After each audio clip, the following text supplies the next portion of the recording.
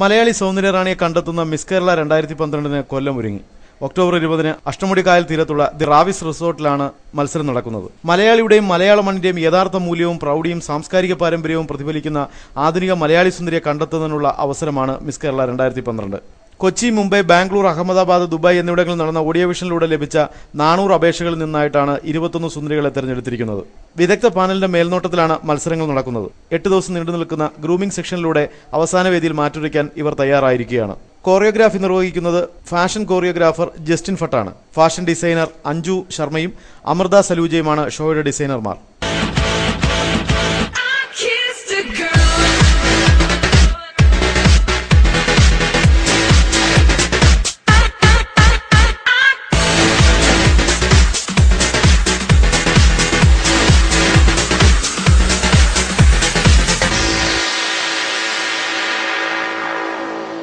സുപ്രധാനമായ മൂന്ന് challenging റൗണ്ടുകളാണ് final വേദിയിൽ മത്സരാർത്ഥികൾ നേരിടേണ്ടി വരുന്നത്. മുൻനിര ഗായകരുടെയും ഡാൻസ് ട്രൂപ്പുകളുടെയും നേതൃത്വത്തിൽ മൂന്ന് മണിക്കൂർ ദൈർഘ്യമുള്ള വിനോദ പരിപാടികളും ഷോയുടെ ഭാഗമായി സംഘടിപ്പിച്ചിട്ടുണ്ട്. News bureau Kollam.